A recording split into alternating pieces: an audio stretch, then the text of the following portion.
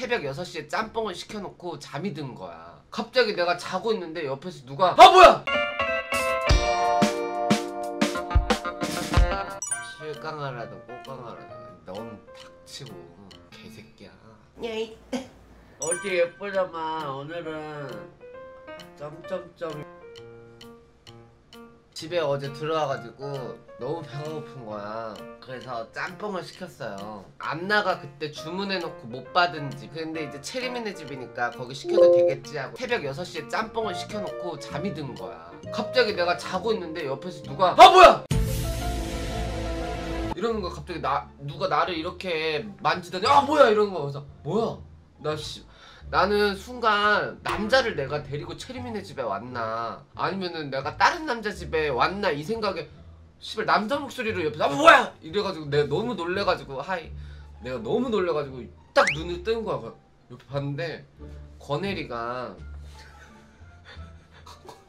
권영태가 어제 체림이랑 같이 체림이네 집으로 왔나봐. 그년이 그러, 그러더니 지도 놀라고 나도 놀라서 둘이 깼어 근데 이제 깨가지고 내가 생각이 난 거지. 혜리야 언니 짬뽕 시켜놨는데 그래서.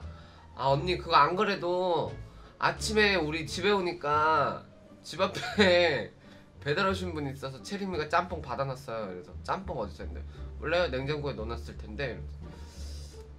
그래서 또 그 짬뽕 사건이 또 생겨버렸어요. 야이.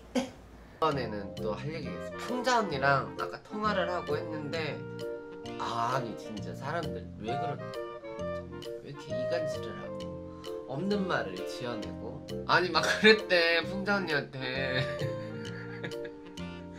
내가 풍자 언니를 망하게 하려고 지금 온갖 수작을 부리고 있고. 그냥 풍자 언니가 술 먹다가 누가 막 그런 말을 했대.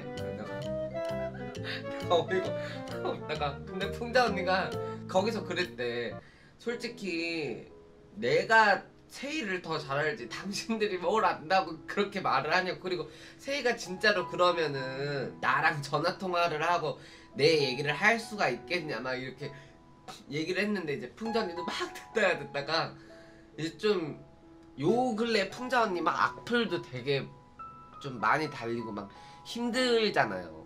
그래서 또 거기서 울었나 봐. 또 풍자 언니가 근데 이, 그럴 때 그런 소리 들을 때마다 괜히 미안한 거야 풍자 언니한테. 근데 나 방송에서도 웬만하면은 얘기도 풍자 언니 얘기도 거의 안 하고. 막 이게 어, 괜히 어그로 끌리고 이간질 되니까. 내가 저번에도 진짜 이간질의 무서운 이유가 뭐 이렇게 있기 때문에 이간질 좀 하지 말라고 얘기를 하고 나서 안 했는데 또 그런 말을 막 하니까 그냥 이제 풍자 언니한테 그냥 미안한 거지. 괜히 없는 말로 막 사람한테 그렇게 말해가지고 풍자 언니도 상처고 그 와중에 나는 또 풍자 언니는 그런 것 때문에 힘들어서 울게 된 거고 나는 또 나쁜 년이 돼버리고 대박 그런 얘기 좀 하지 마세요 막. 우리가 친하게 지내는 꼴이 보기 싫은가? 나랑 풍자 언니가? 무슨 풍자 언니가 카투사 출신이라면서. 난 카투사가 뭔지도 몰랐어 그래서 언니 카투사가 뭐야? 이러니까 카투사 그 미군 있잖아 미군. 존나